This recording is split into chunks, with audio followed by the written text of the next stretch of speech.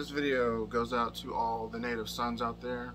There are many of us that are growing our hair out because it shows off our heritage and our pride as indigenous people. And it's a lot more common now, but we still have a lot of our sons being ridiculed for growing their hair out. They are teased in many different ways, and it's very harmful to them. So one thing they must remember is don't be ashamed to grow your hair out.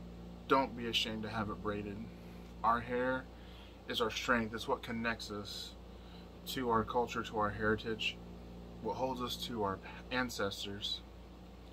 And remember at one time in the past, they cut all our hair off.